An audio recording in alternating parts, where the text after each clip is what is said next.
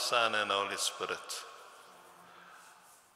God has given us the Spirit of His Son. Let us worship and praise Him. Hallelujah. Lord, open our lips. Glory to the Father, and to the Son, and to the Holy Spirit, as it was in the beginning, is now, and will be forever. Amen. Praise the Lord.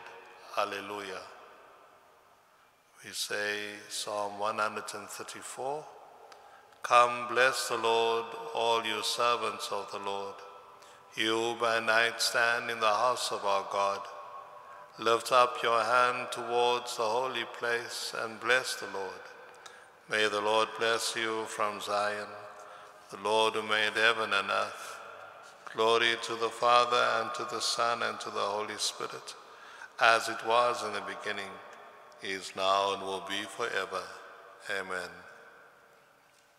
We call to mind and confess our sins.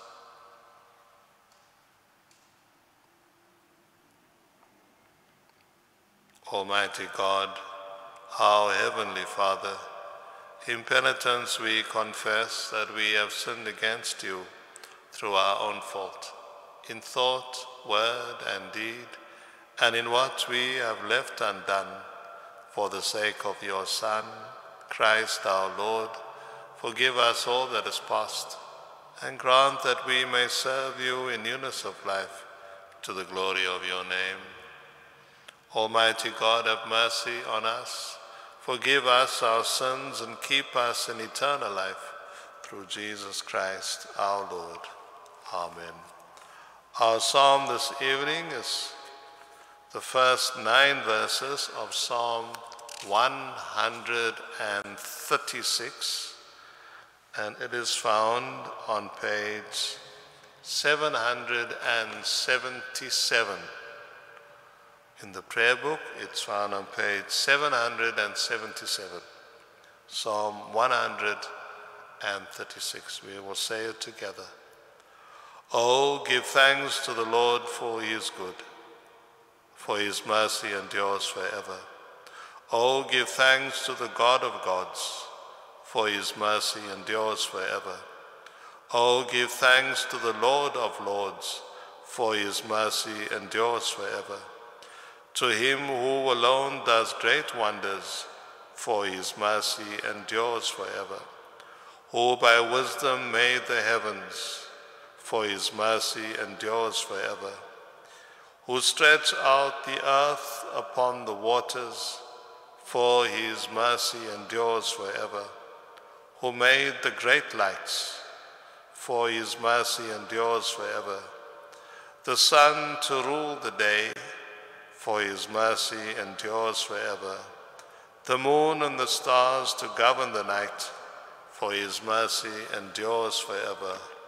Glory to the Father, and to the Son, and to the Holy Spirit, as it was in the beginning, is now, and will be forever. Amen. Our reading is from the Gospel of St. Luke, chapter 10.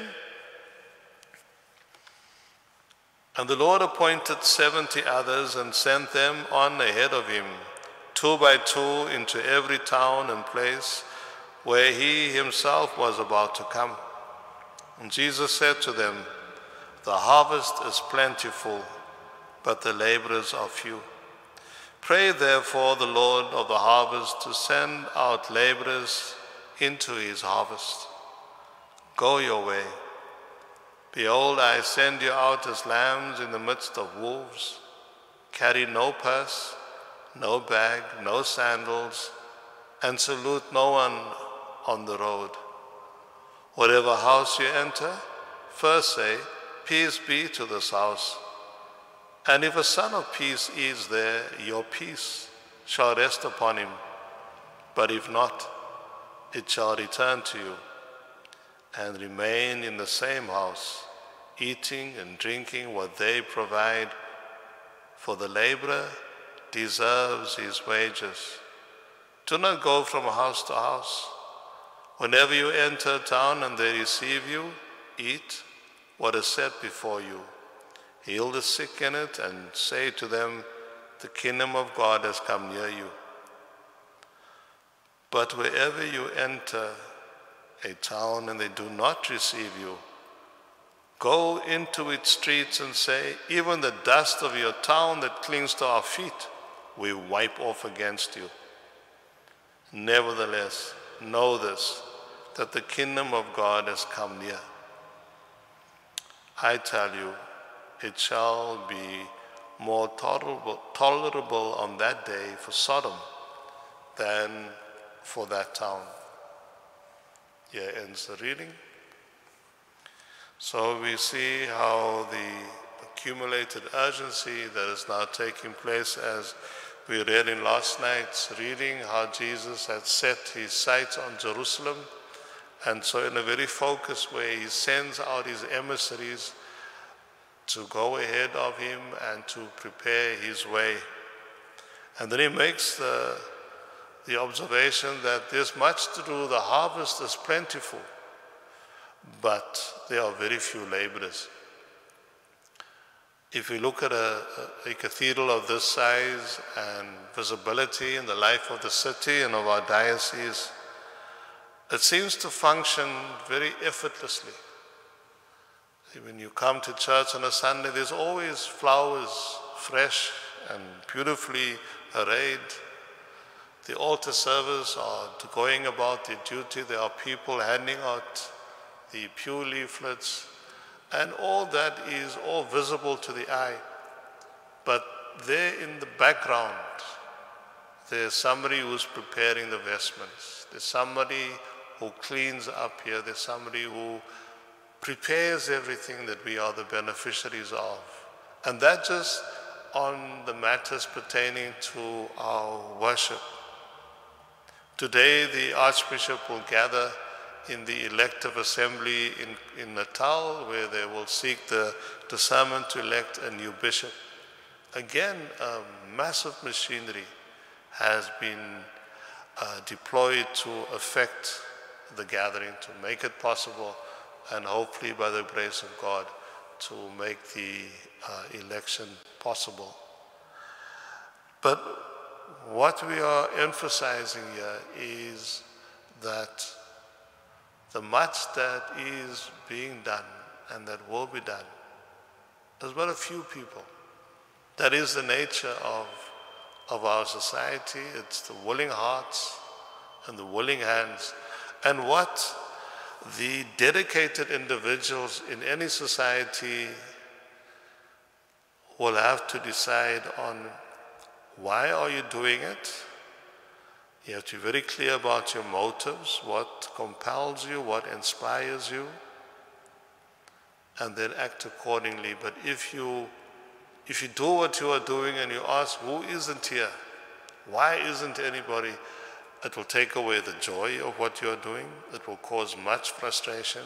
So the few do what the majority should be doing. And hopefully, in the course of that, we'll join the train, we'll come on board. But for now, in the spirit of this gospel, to do so joyously. And we thank God for the 12 disciples that became the gathering on Pentecost. We thank God for the willing hearts of 12 men and women who then become the emissaries that go out and prepare the way for God's Spirit to come upon us. And here we sit today. And there's much to be done. And we must ask ourselves this time round, will I be numbered among those who volunteer? Amen.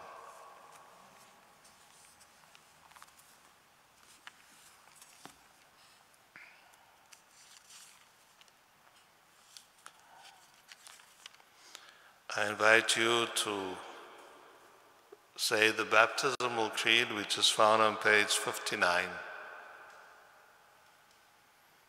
of the Anglican prayer book. I believe and trust in God the Father, who made the world I believe and trust in His Son, Jesus Christ, who redeemed humankind. believe and trust in His Holy Spirit, who gives life to the people of God. I believe and trust in one God, Father, Son, and Holy Spirit. Amen. Let us pray. Lord, have mercy upon us. Lord, have mercy upon us. Our Father in heaven, hallowed be your name. Your kingdom come, your will be done, on earth as in heaven. Give us today our daily bread. Forgive us our sins as we forgive those who sin against us. Save us from the time of trial and deliver us from evil. For the kingdom, the power, and the glory are yours, now and forever. Amen. Today we are invited to pray for the church in Kenya in the Diocese of Butere and for Bishop Timothy Wambunya. In our own province, we pray for Bishop Luke Pretorius, Bishop of St. Mark the Evangelist.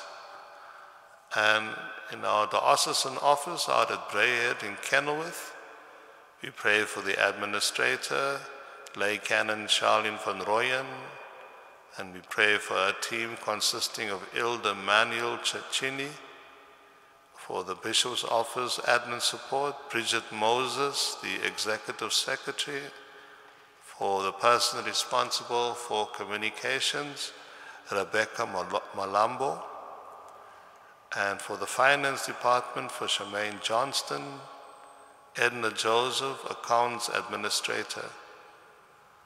We are asked to give thanks for the dedicated work they do in running the affairs of the diocese.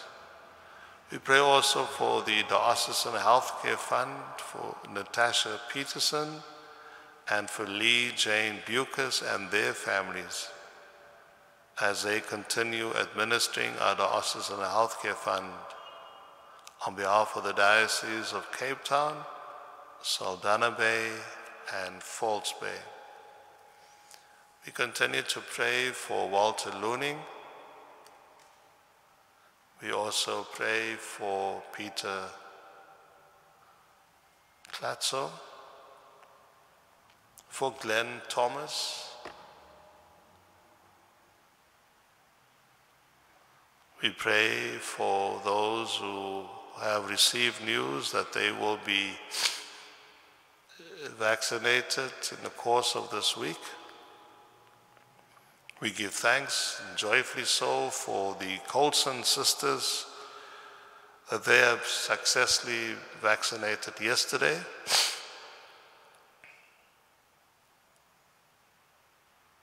And for those of our faith community that are still in doubt, Lord, we pray that you will give them clarity and strengthen their conviction.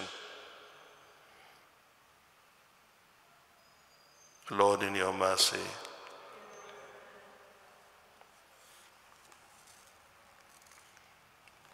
Eternal Father, through Jesus Christ, our ascended Lord, you sent your Holy Spirit to be the bond of fellowship in the church. Unify the whole created order in Christ to reign supreme over all things, with you and the Holy Spirit, one God, forever and ever. We also commend to God's mercy and guidance our Cathedral Council as we meet tonight in a few minutes' time. And we also give thanks to our new member, Nolundi, as she comes on board. So, beloved, join me, me as we say the evening collect on page 61. Lighten our darkness, Lord, and by your great mercy defend us in all perils and dangers of the night, for the love of your only Son, our Savior Jesus Christ. Amen. So the grace of our Lord Jesus Christ and the love of God and the fellowship of the Holy Spirit be with us all forever. Amen. Good night, everybody.